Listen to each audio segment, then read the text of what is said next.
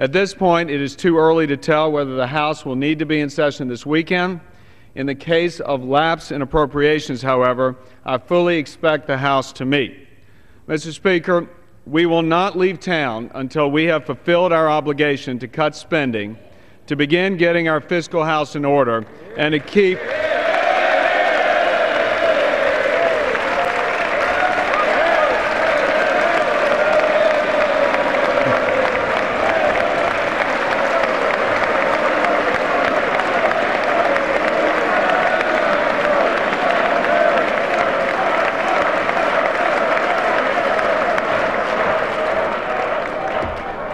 Mr. Speaker, Mr. Speaker, we are.